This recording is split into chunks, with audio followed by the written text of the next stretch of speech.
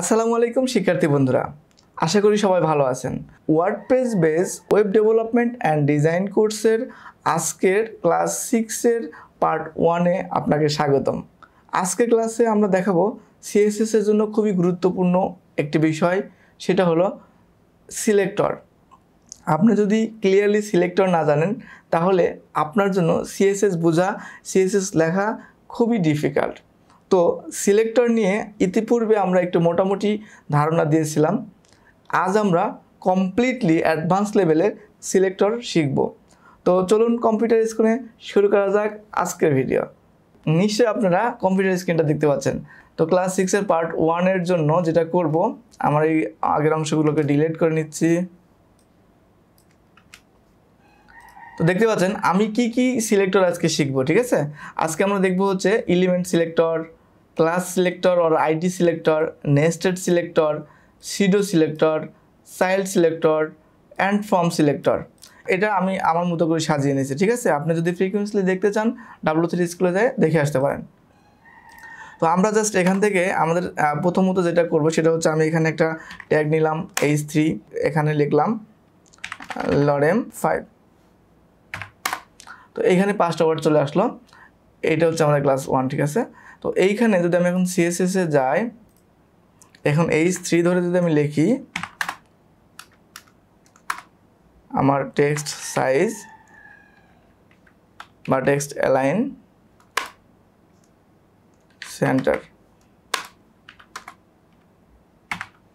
তাহলে আমি যদি এটাকে রিভিউ করি, দেখতে পাচ্ছেন, আমার টেক্সটাইল সেন্টারে দেখাচ্ছে, তাই না? তো এইটা হলো আমাদের সিলেক্টর আমরা হচ্ছে এই যে ট্যাগকে ধরে ডিরেক্টলি আমরা এখানে বলে দিলাম টেক্সট অ্যালাইন সেন্টার দেন কিন্তু এই ট্যাগটা কাজ করা শুরু করে দিচ্ছে তাই না? এই যে ট্যাগের নাম ধরে যখন আমরা সিলেক্ট করব, তখন সেটাকে আমরা বলব এলিমেন্ট সিলেক্টর তো এরপরে হলো ক্লাস বা আইডি সিলেক্টর যখন আমরা দেখেছি যে একাধিক আমার যদি এইচ থ্রি ট্যাগ থাকে, এখানে আমরা লরেম ত্রিশ লিখলাম এখন যদি আমি এখানে আপনাদেরকে দেখতে যাই, তিরিশ না লেখে আর একটু কম লিখি। ওকে এখন যদি আমাদের ওয়েবসাইটটাকে আমরা আবার দেখতে যাই, তো দেখতে পাচ্ছেন এটাও কিন্তু মাঝখান থেকে শুরু হয়েছে। বা আমি যদি একটাকে কালার দেই, আমি যদি এই থ্রিটাকে কালার দেই, একটু কালার দিই কালার রেড দেন আমরা যাই এখানে ওয়েবসাইটে চলে গেলে, আমরা দেখতে পাচ্ছি দুইটার কালারে কিন্তু রেড হয়ে গেছে। তো আমার কিন্তু এরকম লাগতেই পারে যে আমি এইটার এইটার কালার হচ্ছে রেড রাখলাম, আবার এটার কালার আমি গ্রিন রাখলাম। তো এইটা করার জন্য আমাদের কিন্তু একই ধরনের ট্যাগ রাখলে চলবে না। তখন আমাকে ট্যাগ চেঞ্জ করতে হবে। কিন্তু আমরা যদি এই দুইটাকে আলাদা আলাদা দুইটা নামকরণ করি, সেই নামকরণটা কি কি করতে পারি? একটা হচ্ছে ক্লাস দিয়ে করতে পারি। এভাবে ক্লাস মনে করেন লরেম রেড আরেকটা ক্লাস এখানে আমি দিতে পারি। Lorem green okay? এখন যদি আমি এটা ক্লাসটাকে নিয়ে যাই, নিয়ে এখানে গিয়ে যদি আমি লিখি কালার রেড তো এটা কি পাবে? চলুন দেখি। এটা কিন্তু পাই নাই, ঠিক আছে? কেন পাই নাই?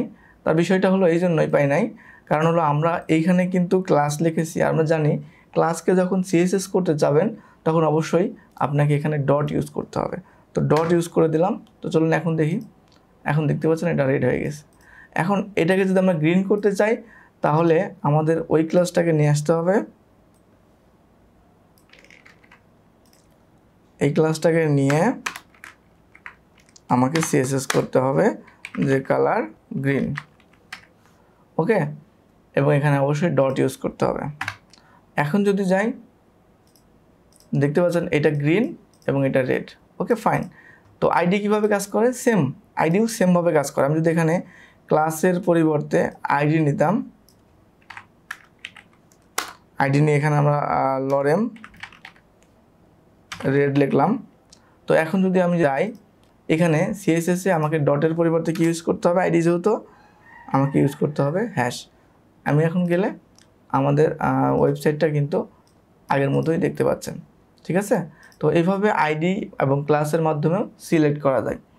এখন এই আইডি, ক্লাস এবং আমরা এলিমেন্ট অর্থাৎ ট্যাগের নাম, এই সবগুলো সিলেক্টর থাকার পরেও অনেক সময় দেখা যাচ্ছে আমাদের একই ডিবের মধ্যে সেম টাইপের জিনিসগুলো থাকে।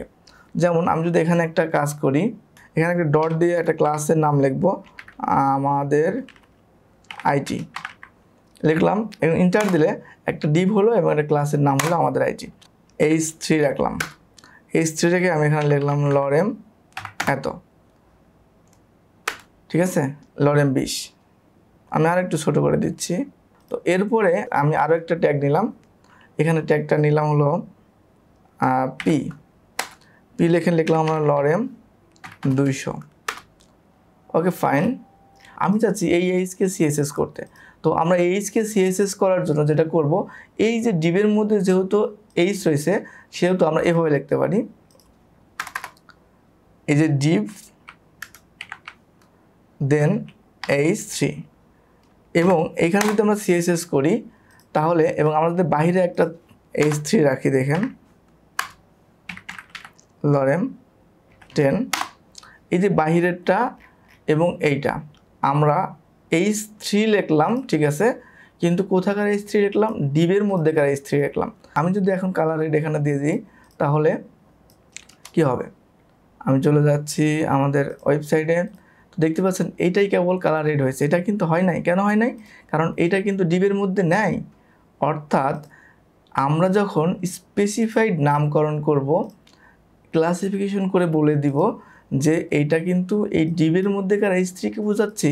দেখেন, আমি যদি এখানে ডিপটা উঠাই দিতাম, তাহলে কি হতো? তাহলে দেখেন, দুইটা এই স্ত্রীতেই কিন্তু কাজ করতেছে।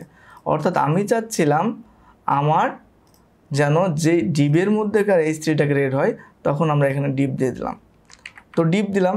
এখন ডিপ যদি আমার এরকম আরও থাকে, তাহলে ডিপ যদি আমার আরও থাকে এভাবে মেইন মেইন নামে একটা আমরা ডিপ লিখলাম। এখানে আমাদের এই স্ত্রী থাকল, লরেম ফাইভ এখন চলি। এখন দেখতে পাচ্ছেন যে আমাদের নিচেরটাও কিন্তু কালার হয়ে গেছে। তাহলে আমাকে এখন ক্লাস ইউজ করতে হবে যেহেতু সেম তো ক্লাস ইউজ করার জন্য জাস্ট আমরা এখানে এই যে ডিবের এখানে আমরা ক্লাসের নামটা দিয়ে দিব। আমি এটাকে কপি করলাম। ঠিক আছে? এখন যদি এখানে যাই, এইটা কিন্তু কালার হয়েছে, তাই না? এটা কিন্তু কালার হয় নাই। এই যে আমরা একটার মধ্যে একটা থাকলে যেভাবে সিরিয়ালি বলে দিই, যেমন আমরা যদি কাউকে স্পেসিফিকভাবে নামকরণ করতে চাই এবং যদি বলি আমাদের সাধারণত একটা পুলিশ ভেরিফিকেশন হয় তখন কীভাবে করা হয়? যে আপনার নাম হচ্ছে জুলফিকার। তো জুলফিকার ভাই আপনার নামটা পাওয়ার পরেও আপনাকে জিজ্ঞেস করে আপনার বাড়িটা হচ্ছে কোন থানাতে? আপনি থানার নামটা বলেন দেন বলা হয় কোন গ্রামে। ওই গ্রামে আপনার বাবার নামটা কি? এই বিষয়গুলো ক্লিয়ার হওয়ার পরে কিন্তু তখন আমরা অরিজিনাল জুলফিকারকে আমরা শনাক্ত করতে পারি। তো সেমভাবে আমরা এইভাবে এভাবে কিসের মধ্যে আছে সেই বিষয়গুলোকে ধরে আমরা শনাক্ত করতে পারি। তো ডিবের মধ্যে আছে ডিবের মধ্যে এইচ থ্রি আছে। এটা কিন্তু আমরা ডিবের মধ্যে আবার নাম দেখেছি, ঠিক আছে? এই হলো এইরকমভাবে সিলেক্ট করাকে বলা হয় নেস্টেড সিলেক্টর আমরা যদি এখানে যাই, দেখেন আমরা যেটার মধ্যে সিরিয়ালটাকে মেনটেন করব এইভাবে এখন আমরা যদি এখানে ডিপটাও লিখতে চাইতাম, এই ডিপটাও যদি এখানে লিখতে চাইতাম, তাহলে জাস্ট দেখেন ডিপের মধ্যে কিন্তু ক্লাস আছে। তখন আমি জাস্ট কী করব? এখানে ডিপ লিখে দিব। এখানে কোনো স্পেস হবে না, ঠিক আছে? এইখানে যদি আমি ডিপের মধ্যেকার ক্লাস বা কোনো ট্যাগের মধ্যেকার ক্লাসকে আমি লিখতে চাই, তাহলে কিন্তু আমার এখানে কোনো স্পেস হবে না। জাস্ট ট্যাগ ডট ক্লাস এটা খেয়াল রাখবেন। তাহলে এই ডিপ নামক এই ট্যাগের মধ্যে আমার এইচ থ্রি নামক যে ট্যাগটা আছে, সেই ট্যাগের মধ্যে সিএসএসটা কাজ করবে। আশা করি বিষয়টা ক্লিয়ার হয়েছে। তো নেস্টেড সিলেক্টর গেল আইডি কালার সিলেক্টর গেল, এখন হচ্ছে শুরু সিলেক্টর তো শুরু সিলেক্টরটা অ্যাকচুয়ালি কি? আমরা অ্যাকচুয়ালি শুরু সিলেক্টর ইউজিং অলরেডি করেছি। তো আমি আপনাদেরকে আবার দেখাচ্ছি। আমরা চাচ্ছি যে এটাকে হোভার করলে কালারটা চেঞ্জ হবে। তো হোভার করে কীভাবে? আমরা এটাকে কপি করলাম এখানে নিয়ে আসলাম। এখানে নিয়ে আমি যদি ডট দেই এবং এখানে হোবার লিখি। হোবার মানে হলো মাউসটা যে এই যে নিচ্ছি, কিছু একটা ঘটতেছে, এই যে এগুলোর উপরে একটা জিনিস আসতেছে, এই যে জিনিসটা আসাকেই বলা হয় হোবার করা। এইরকম আমরা ক্লাসটা সিলেক্ট করে যদি আমরা এই ডট দিয়ে লাস্ট অংশটার উপরে কোনো স্পেস না দিয়ে ডট দিই এবং এখানে আমি হোবার লিখি এবং যদি আমি সেকেন্ড ব্র্যাকেট দিয়ে যদি আমি লিখি কালার গ্রিন দেখবেন যে এইটার কালারটা রেড থাকবে বাই ডিফল্ট আমি যখন হোভার করব তখন গ্রিন হয়ে যাবে।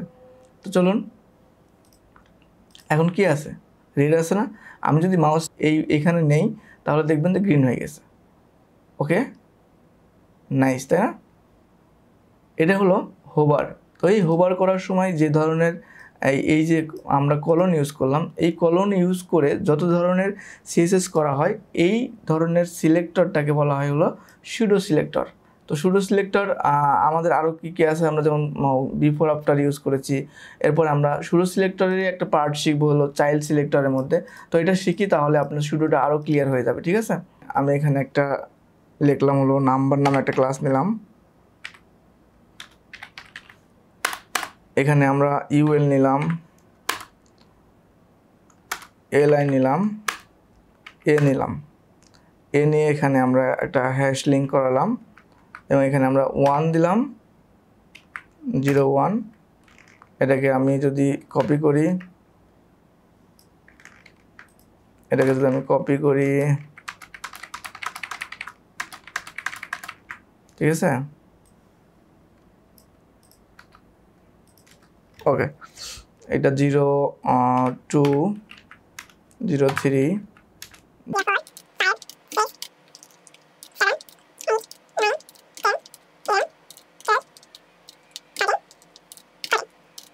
okay okay আমি যদি এখন দেখি এটাকে, তাহলে এই যে দেখতে পাচ্ছেন, তাই না? তো এই যে সিলেক্টর এইখানে আমি চাচ্ছি যে এইখানকার এই যে বিষয়গুলো, এটা একটু খেয়াল করেন চাইল্ড এবং প্যারেন্টের মধ্যে ডিফারেন্টটা বোঝাই দিই। এই যে এইখানে ডিপ নাম্বার নামে যে ডিপটা নিয়েছি ডিপ ট্যাগের মধ্যে হচ্ছে, আছে ইউএল এই যে ডিপ ট্যাগের ভিতরে ইউএল আছে, তাহলে ডিপ হচ্ছে ইউএলের মাদার ডিপ হলো ইউএলের প্যারেন্ট এবং এই ইউএল হলো ডিবের চাইল্ড আবার ডিবের চাইল্ড কিন্তু এরাও। আবার এই ক্ষেত্রে যদি আমি ইউএল এবং এলআই চিন্তা করি, ইউএল হলো প্যারেন্ট এবং এলআই হলো চাইল্ড তো দেখেন, এই যে আমাদের এখানে এসে সবগুলো চাইল্ড কিন্তু সেম তখন আমরা কীভাবে সিএসএস করব। আমরা যদি একটা নির্দিষ্ট অংশকে কালার করতে চাই বা নির্দিষ্ট এইটার উপরে শুধু কালার করতে চাই বা আমি এইগুলোর উপরে কালার করতে চাই, তাহলে আমরা কীভাবে করব। এই বিষয়টাই আমরা এখন দেখব। তো আমি চাচ্ছি যে আমার এইখান থেকে এই প্রথমটা শুধুমাত্র কালার হবে। ঠিক আছে? তাহলে আমি কীভাবে করব? আমার এখানে এগুলো কেটে দিলাম। আমি নাম্বার নামে যে ক্লাসটা নিয়েছি ওইটা নিয়ে নাম্বার নাম্বারের মধ্যে কি আছে? ইউএল আছে। ইউএলের মধ্যে এলআই আছে। তো এই এলআইগুলোই আমি কাজ করব, ঠিক আছে? তো এলআইগুলোকে আমি যদি এখন প্রথমটাকে নিতে চাই, তাহলে আমি এখানে জাস্ট শুডো সিলেক্টর ইউজ করব ফার্স্ট চাইল্ড এখন যদি আমি লিখি কালার রেড আমি যদি ওয়েবসাইটে নিয়ে যাই, দেখতে পাচ্ছেন যে কালার হয় নাই। এর জন্য আমাকে যেটা করতে হবে, এইখানে বলে দিতে হবে যে এই যে এলআই চাইল্ড ঠিক আছে, কিন্তু এই কালারটা হবে এলআইয়ের কিসের উপরে? এলআইটা তো এলআইয়ের মধ্যে তো একটা ট্যাগ রয়েছে। এই ট্যাগ রয়েছে না? তাহলে এলআইটার কিসের মধ্যে হবে? এলআইটার এর মধ্যে এই কালারটা অ্যাপ্লাই হবে। সরি এখানে সিঙ্গেল কলন হবে। এবং আমি যদি এখন দেখি, তাহলে দেখতে পাচ্ছেন জাস্ট এক নাম্বারটা হয়েছে। আমি যদি এখান থেকে এইটুকু উঠায় দিতাম, তাহলে দেখবেন যে সবগুলো একই কালার হয়ে গেছে।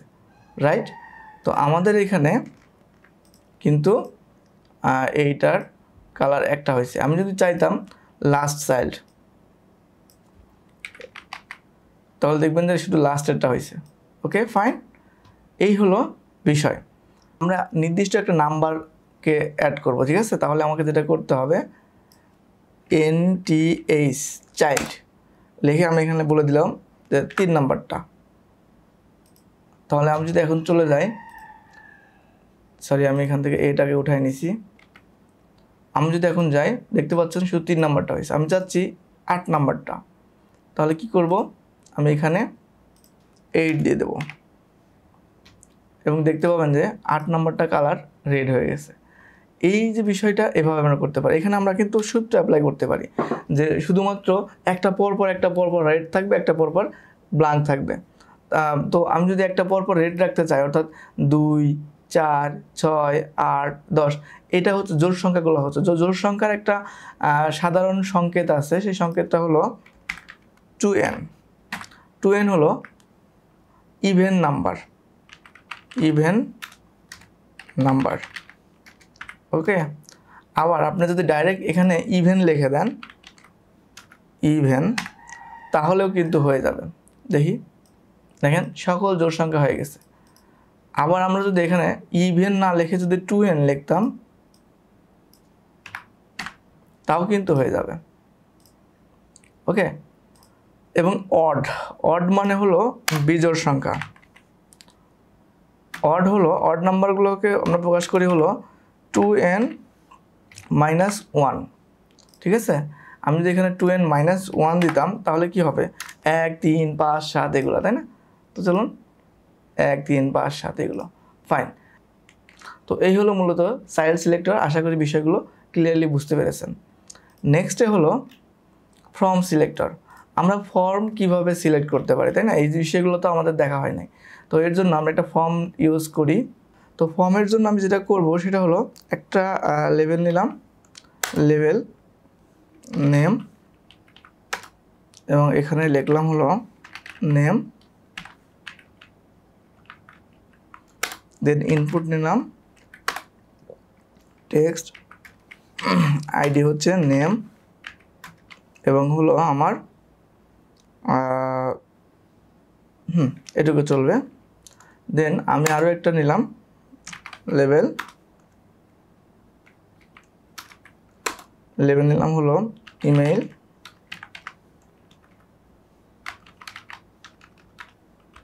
ইমেইল এবং আমি এখানে একটা ইনপুট নিলাম। ইনপুট নিলাম, এটা হলো ইমেল দিলাম টাইপ আর এখানে আমাদের হলো, এখানে আইডি দিলাম ইমেল ওকে চলুন দেখি।